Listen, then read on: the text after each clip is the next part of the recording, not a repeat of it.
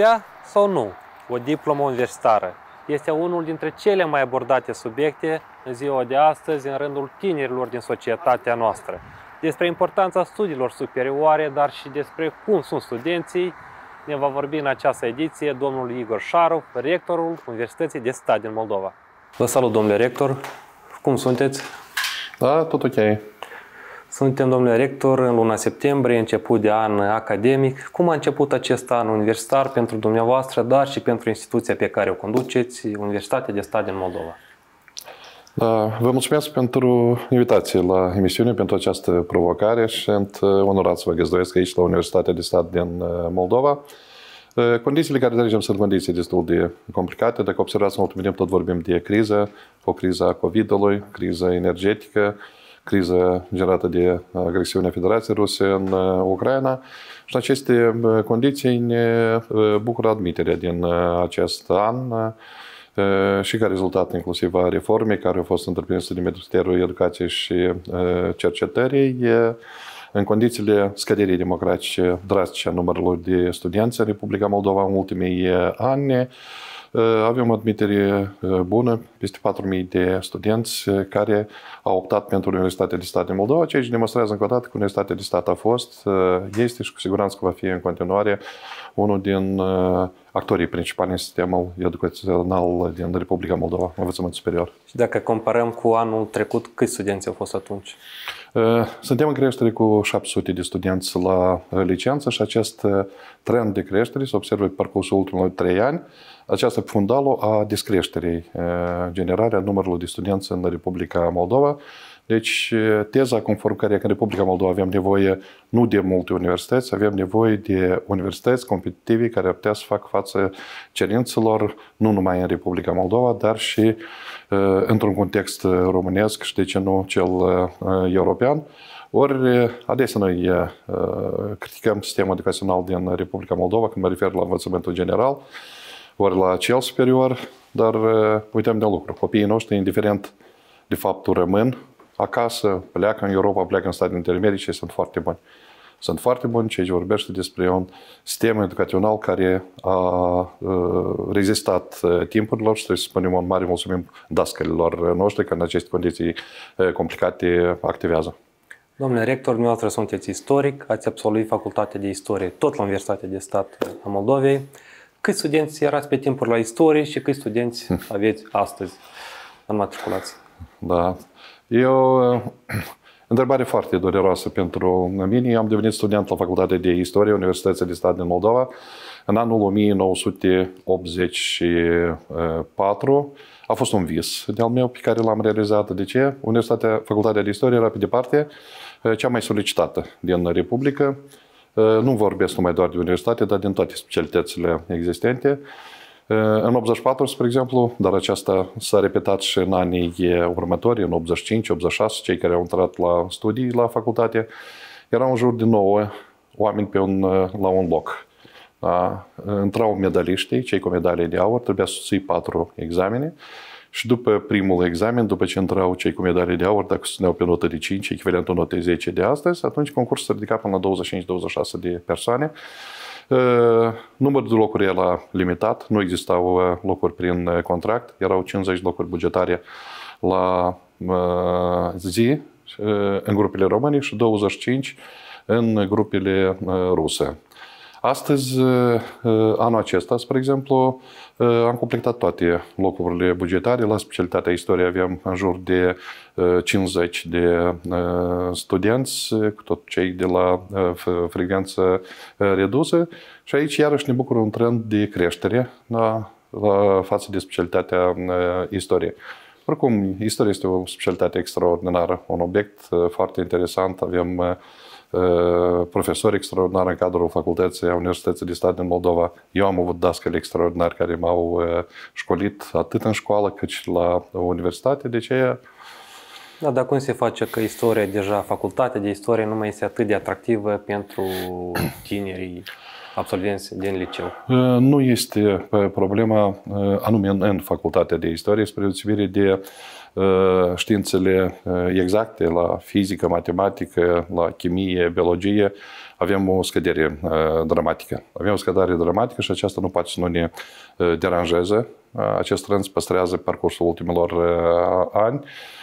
Cred că în regim de urgență trebuie de întreprins anumite măsuri care ar veni nu doar în cuvinte, dar în promovarea imaginii a profesorului și a statutul profesorului în, în societate, cu acțiuni concrete.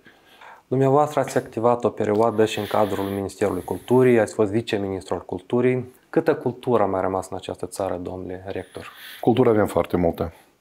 Avem multă cultură, fiindcă cultura sunt oameni. Avem oameni foarte talentați și în condițiile acestea complicate la care vă referiți dumneavoastră în diverse domenii. Geniul lui Botgros, geniul lui Eugen Doga ne aduce imagine țării noastre departe, peste hotare. Vorbim despre patrimoniul imaterial. Uitați-vă, numai în perioada din 2013 până în prezent avem patru dosare care au fost promovate și în domeniul imaterial UNESCO. Colindatul în ceată bărbătească, covorul nostru, mărțișorul, mai proaspăt altița. Și asta vorbește despre faptul că avem cultură și ea trebuie în continuare promovată. Și mă bucur altceva în ultimii ani. Întoarcerea la valoarele noastre românești. Observați că tineri poartă cu mândrie ei. Oricum vorbiți de cultură, haideți să nu pleca departe, că am putea o emisiune întreagă zile între să vorbim la acest subiect. Luăm doar acest septembrie. Da. 31 august 4 septembrie, Salonul de Carte Bookfest, aflat la cea de 5 ediție. Am fost onorați să, să găzduim aici, la Universitatea de Stat din Moldova și a avut un succes extraordinar. Au recunoscut-o Asociația Editorilor din România, au prezentat publicului nostru, cât și editorile din Republica Moldova. Vânzările au fost peste 25% de comparație cu salonul de carte precedent. Despre ce deci au vorbește. Crescut. Au crescut vânzările și se vorbește de interesul fost carte a tinerilor, a intelectualilor din Republica Moldova și pentru mine acest lucru este unul foarte important, pentru că universitatea este nu numai un loc unde se întâlnește comanda de stat. Universitatea, în opinia mea, trebuie să fie un loc de promovare a politicilor în diverse domenii. În cazul dat, suntem un templu al cărții și lansările de carte care au avut loc în, acest, în cadrul acestui salon au fost unele extraordinare și au provocat o reacție din partea publicului. Ok, a fost un proiect de succes și aici clar că fără de sprijinul Guvernului României, ori fără de sprijinul uh, ministerilor cele două state, a Ministerul Culturii din Republica Moldova, din România, Departamentul pentru relații cu Republica Moldova, acest eveniment nu putea să aibă loc. Acum, în aceste zile, are loc Festivalul Teatrurilor Naționale. Da, da. Sălile sunt supraîncărcate. Am avut posibilitatea să merg la două spectacole, spectacole extraordinare de altfel și toate biletele sunt vândute. Observați, cartea este cumpărată, biletele sunt vândute, nu îi impune nimeni să aducă. Și acest produs românesc care este consumat și în care aceste trăiri ale noastre, deci pentru prima dată, cred că toate cele 17 teatre naționale din România sunt prezente la acest, la acest eveniment. Imediat după încheierea acestuia, pe data 22, chiar joi, începe Festivalul Filmului Românesc la noi. Exemple de acest gen pot fi aduse la nesfârșit în diverse domenii. Fie că e teatru, fie că e domeniul cărții, fie că e domeniul patrimoniului material, imaterial. Și observăm și conexiunea aceasta între turism cu cultură în ultimii ani, deschiderea a pensiunilor, organizarea diferitor manifestații culturale care au priză pentru diferite categorii, fie la tineri, fie de diferite vârste. Eu n-aș fi atât de sceptic. Este altceva că atitudinea față de oameni de cultură materializate prin politicile statului trebuie să fie în continuare schimbată. Cum să schimbăm această atitudine? Nu, noi vorbim prin promovarea diferitor politici. Vedem, în domeniul cărții am promovat un regulament de editare de carte în care anual editurile vin cu solicitările de carte și guvernul îi susține. Deci avem o linie de finanțare de 5 milioane de, de lei. Începând cu anul 2015, avem finanțare pentru cinematografie. Da, a fost creat Centrul Național Cinematografie, un 6 milioane de lei erau inițial și aceste uh, proiecte urmează să fie uh, crescute în continuare. Ori proiectul de pentru organizațiile non-guvernamentale în domeniul culturii. Iată această diversitate care ar cuprinde diferiți actori, de la acei independenți și până la teatre sau toate domeniile care ar mări resursa financiară din partea statului, ar fi, cred că, una din soluții, cu toate că lucrurile astea sunt teoretic astăzi. Da? Teoretic, practic, noi ne confruntăm de fiecare dată cu crizele de care m-am referit, în special în condițiile războiului din Ucraina și a crizei energetice din acest an, lumea este preocupată de alte probleme. Dumneavoastră sunteți autorul primului manual de istoria românilor din, din Republica Moldova. Cât de greu a fost să scrieți acest manual într-un stat tânăr cu, cu un trecut totalitar? A fost complicat. Locuiam în Cămin, în Căminul Universității 8 ani. Am locuit până în anul 1992 și mi-aduc aminte, ziua eram la bibliotecă, noaptea reveneam în Cămin și împreună cu colegul meu, Igor Ojog, eu dictam, el tipărea la mașina de tăpat, computere pe atunci departe erau și așa ziua și noaptea munceam. Problema consta în lipsa de documente Izvoare, cum spun istoricii. Da. da. Și de izvoare și de lucrări publicate. Dacă în ceea ce privește problema uh, antică și evul mediu, o mare parte a uh, materialului care era, uh, erau publicate deja atât în Republica Moldova cât și în România, diferite uh, articole, monografii, în baza cărora puteai să faci o sinteză, atunci pentru perioada modernă și contemporană, așa zisele petele albe. Da? După 1988, în uh, fosta Uniunii Sovietică, au apărut pe diferite segmente lucruri interesante publicate de regulă în anumite reviste care aveau priză la uh, tineri. Dar noi nu avem atunci de unde ști despre ororile unui regim. Atunci înseamnă drama foametei, drama colectivizării, drama a deportărilor, a represiunilor din 37-38 și acesta a fost o primă, primă încercare, dar pe parcursul acestor 30 de ani, clar că au apărut multe manuale, sinteze și multiple alte lucruri care vin să completeze tot ce înseamnă ororile unui regim. Și eu cred că Misiunea principală de acum unui istoric este nu doar să-și publice monografiile pentru a realiza un ego al lui, dar să vorbească pe, interesul, pe înțelesul tuturor de ce a însemnat o dramă. Din Transnistria, anul 37-38, imaginați dumneavoastră, au fost omorâți în jur de 6.000 de oameni de către dvoici și de către troici. Da, peste noapte, două persoane care decideau soarta ta. Atunci când Arhiva Securității deschizi dosarul și găsești bunei prietenilor tăi, te gândești că aceasta putea să se întâmple cu tine. Ori exemplu buneilor mei. Bunelul meu a decedat la vârsta de 46 de ani, după 1944, a mers în Donbass, a revenit înapoi acasă, a primit o boală la plămâi și a lăsat 8 copii. 8 copii, dintre care 3 bunica nu au fost în stare să-i crească și au fost trimiși la internat. Da? Apoi clar că fiecare s-a realizat în viață, ori atitudine față de biserică. Atitudinea față de biserică. Astăzi mulți promotori ai unor formațiuni politice care se declară uh, solidari ideilor leniniste, uit că este, este unul din cei mai mari criminali, criminali ai secolului 20. Și tentativa de a uh, face o lustruială a imaginii acestea nu merge. Nu merge. Teroarea albă, milioane de lei care au fost uh, omorâte pe parcurs, asta nu e undeva. Asta e aici, acasă, la noi, în Republica Moldova. Domnule ministru, domnule rector, dumneavoastră ați fost o perioadă ministru al educației. Ce sau uh, cât îl poate costa pe un ministru, pe un ministru al educației atunci când îl critică pe un președinte al țării pentru că este chiar obraznic uneori? Uh este o doză foarte mare de relativitate în ceea ce privește probleme legate de obrăznicie, știți în ce context este folosit. Eu știu un singur lucru. Școala trebuie să fie în afara politicului. Nu poate nimeni să-și facă PR politic într-o instituție de învățământ, cu atât mai mult în condițiile uh, COVID-ului. Dar libertatea costă. Libertatea costă sănătate, libertatea costă uh,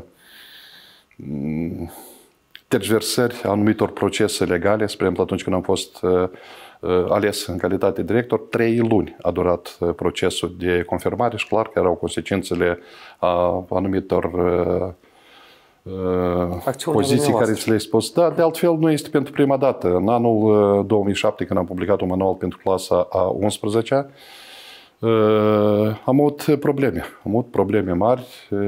Unul din liderii atunci, Victor Stepaniuc, a vrut să schimbăm conținuturile la manual, categoric ne-am opus. Aceasta l-a costat pe ministrul educației de atunci funcția, dar noi am fost supuși noi de unei terori. Mi-aduc aminte, primul insult al meu l-am luat atunci, în anul 2007, chiar dacă ei încă nu știu. Costă. Și costă sănătate, costă timp, lucruri care nu le observă multe lume, pentru că oamenii de regulă nu apreciază ceea ce faci, ei apreciază ceea ce poți face pentru ei. Și dacă nu se regăsesc într-o formulă sau alta, atunci poți fi criticat, judecat, dar trebuie să ai o idee. Ideea este legată de sistemul educațional și vreau să mulțumesc foarte mult familiei m-au susținut în toate perioadele complicate. Astăzi ca și în orice zi, ziua de muncă la mine începe la orele 4 jumătate, la orele 6 eu sunt la serviciu și în fiecare zi, inclusiv sâmbătă, duminică, sunt până la orele 9, cu excepția a unor seri când uh, obtrec uh, uh, cu diferite ocazii. Și sigur că dacă nu ar fi susținerea familiei, și noi suntem mulți, suntem 10 în familie, Dumneavoastră ați criticat în acea perioadă, când ați fost ministrul educației, pe actualul președinte de atunci, dar cum se face că sunt tot mai puțini din cei care critică atunci când este nevoie? De ce, de ce le este frică? Este zona unei comodități.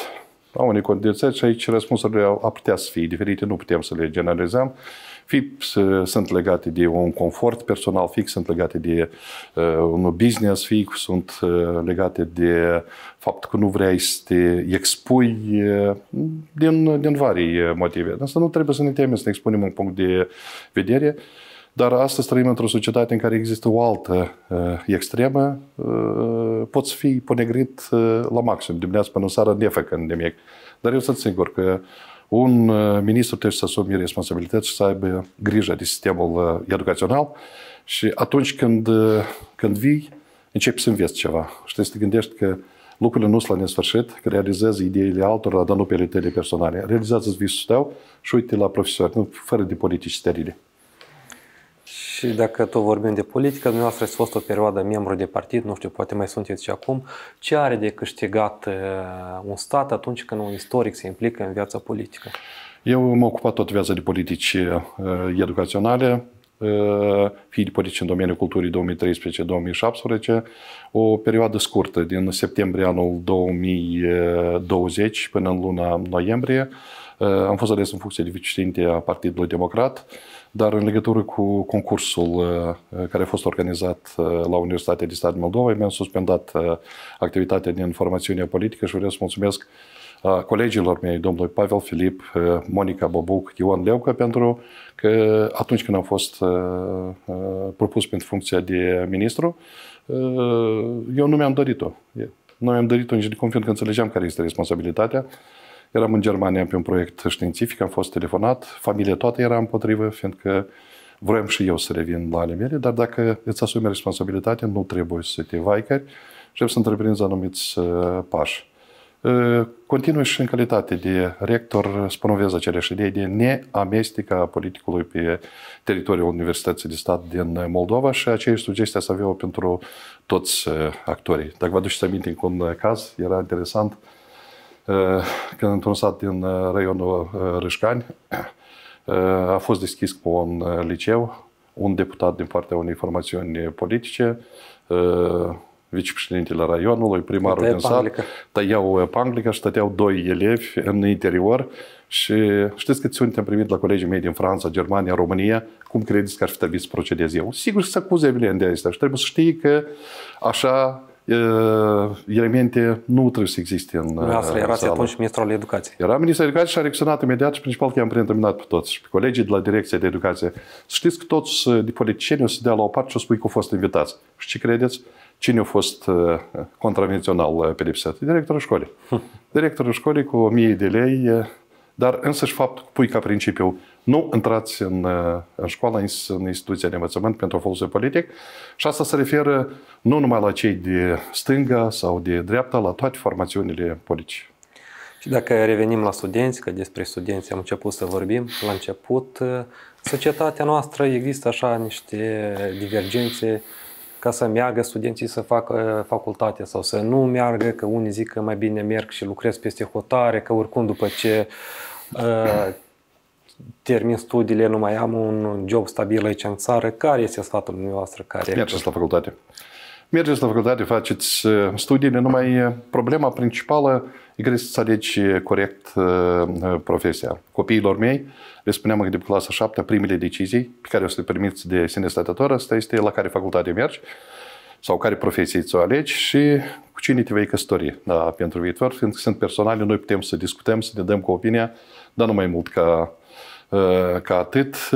Facultatea și universitatea este nu doar un element legat de carte. Da? Este viața, este suflul comunității, sunt relațiile de prietenie. Pentru mine, relațiile de prietenie care le-am legat în timpul studenției sunt cele mai puternice până în prezent. Eu păstrez relații practic cu tot colegii mei, mulți din ei mi-au devenit cu mătri, prieteni, ne apropiați, ne întâlnim împreună la o întâlnire, o nuntă, o, o comătrie și această relație de prietenie, tot ce înseamnă un suflu universitar, caracterizat nu numai sistemul educațional din Republica Moldova, deci e foarte bine când vă gândiți la ce facultate veniți, să o faceți cu multă pasiune, dar la Universitatea de Stat din Moldova noi avem practic toate posibilitățile, cu excepția medicinii. Da?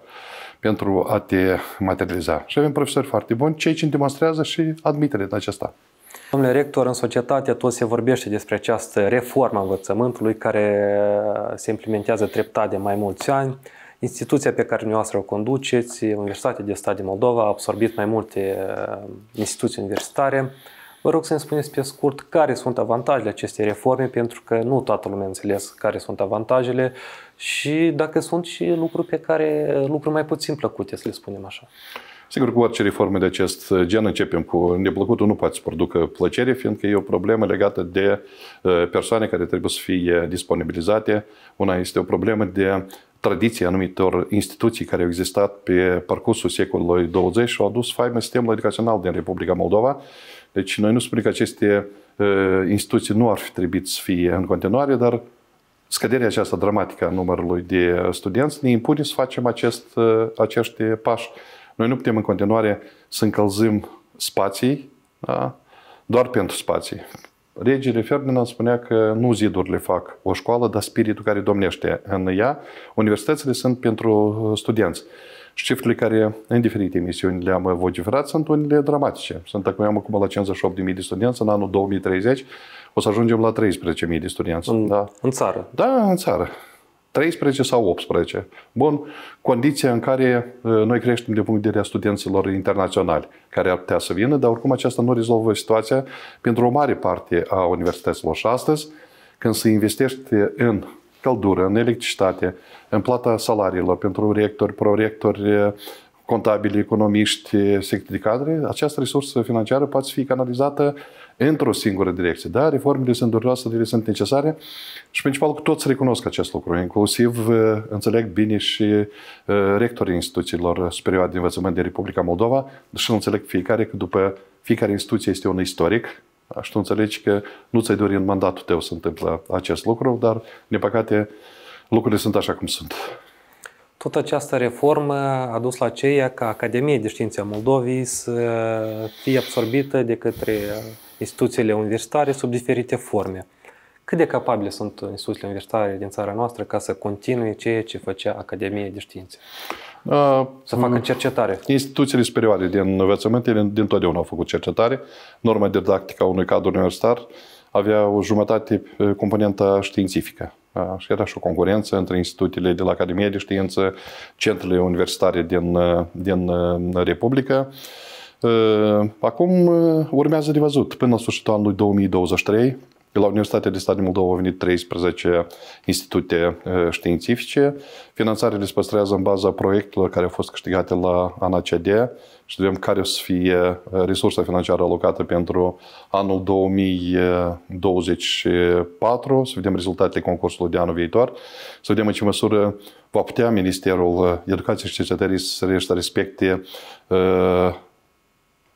obligațiile sale care au fost promise universităților și instituțiilor științifice în așa fel încât știința din Republica Moldova să nu dispară. Eu sunt categoric împotriva lucrurilor artificiale. În cazul Universității de Stat din Moldova, noi vom păstra în continuare un organigramă instituțiile științifice, în orice caz până la sfârșitul anului 2023 ca instituții științifice aparte și vom, ne vom strădui să le susținem sub diferite forme, fie de proiecte, fie implicare în diferite activități didactice. O să vedem.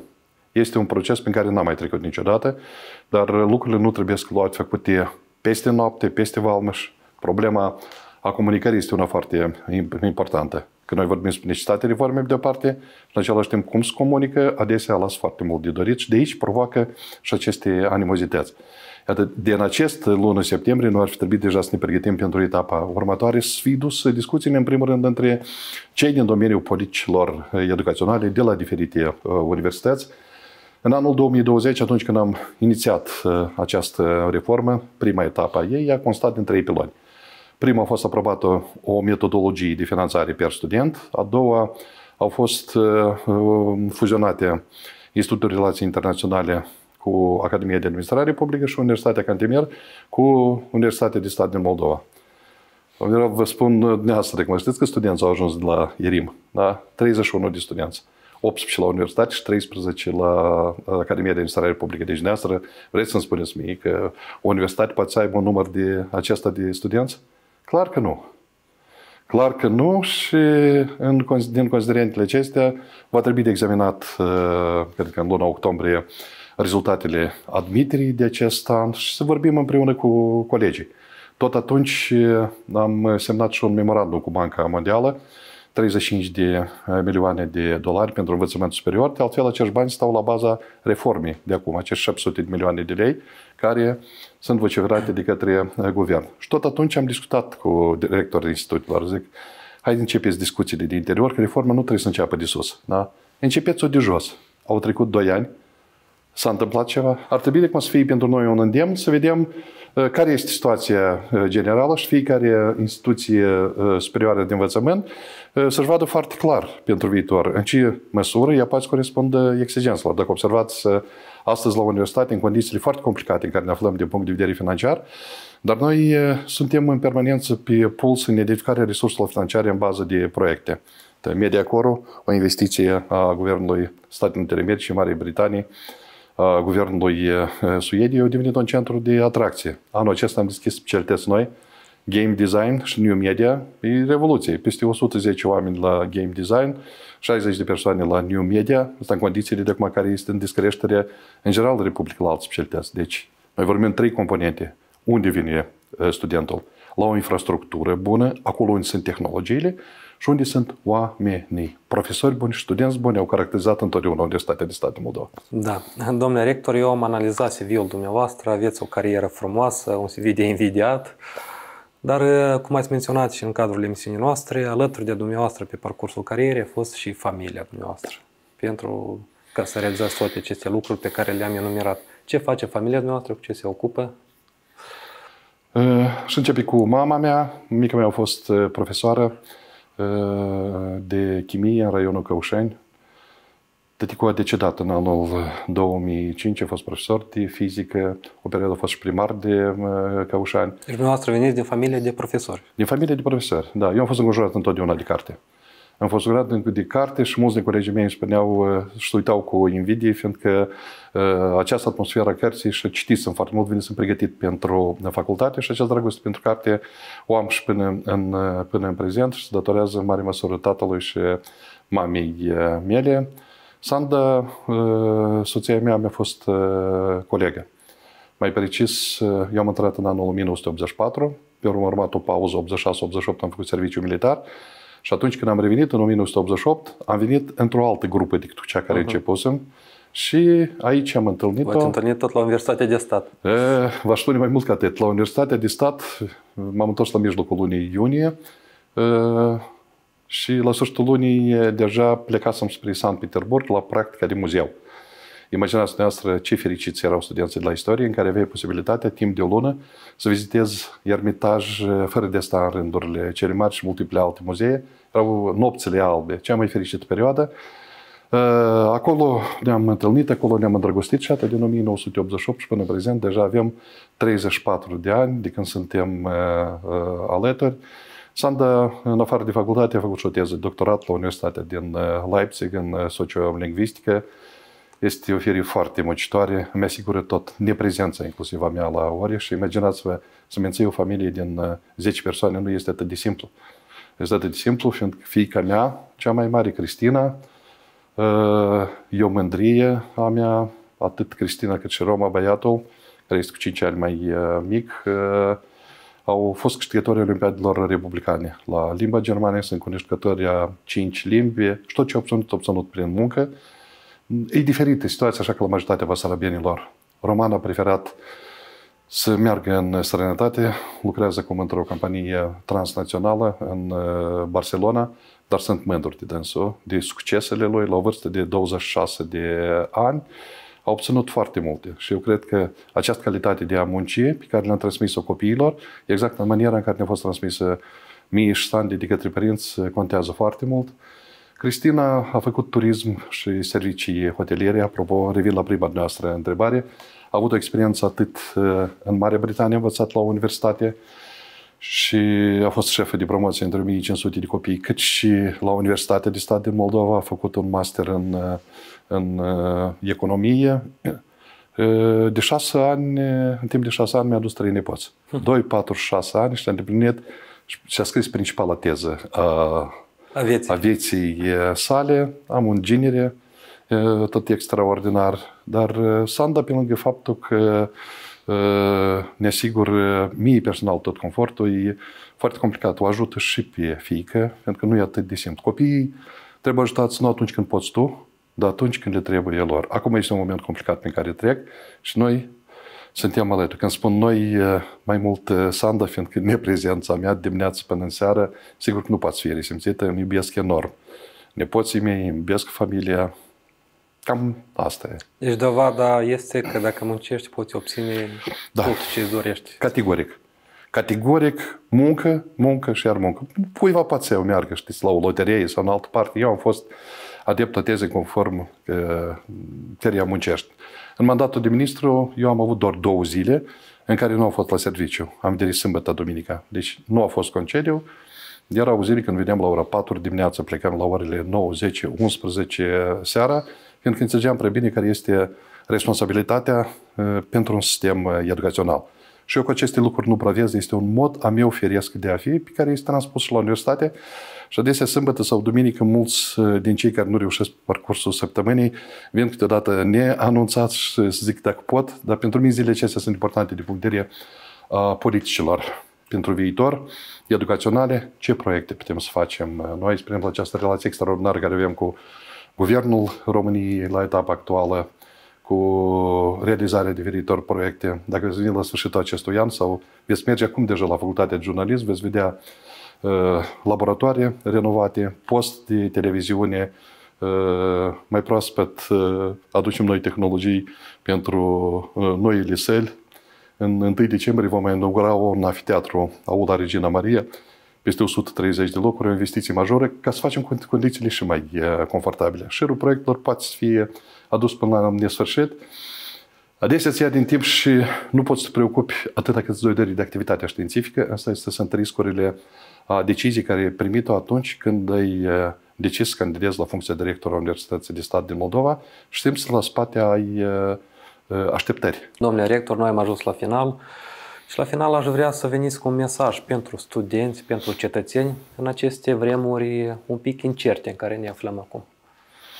Da, timpurile sunt incerte, însă, dragi colegi, dragi prieteni, vreau să vă spun că aceste elemente de incertitudine ne-au însuțit parcursul vieții în permanență. Ne aduce aminte generația mea care în 1991 Am terminat numai studiile la facultate, puciul din august 91, 19-21 august, proclamarea independenței Republicii Moldova, căderea catastrofală a rublei, locuiam în cămin, nu erau perspective, speranță pentru, pentru viitor, era o stare de incertitudine și tot ce am făcut. Am muncit. Am muncit, am crezut și ne-a realizat fiecare visurile noastre într-un context. Observați cum schimbă situația de la zi la zi și cum din luna martie până în prezent, dacă eram dependenți de telefon, ne uitam pe Telegram, operațiile militare, cum au loc în Ucraina, Columbia pe departe s-au deprins, în continuare suntem cu suflu alături de colegii noștri, fiindcă eu înțeleg foarte bine, fiindcă libertatea Ucrainei este libertatea noastră.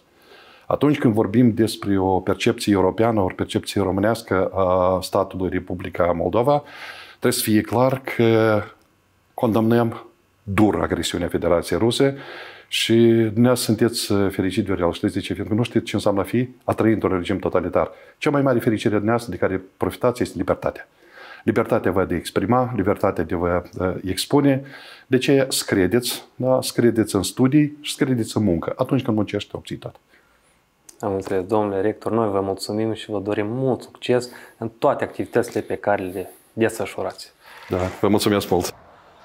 O țară în care investițiile în educație nu sunt privite drept cheltuieli, dar sunt asumate ca reale investiții, este o țară care va avea un viitor prosper. Sunt Viorel Furculiță și ne revedem curând cu alți oameni și istorii de viață.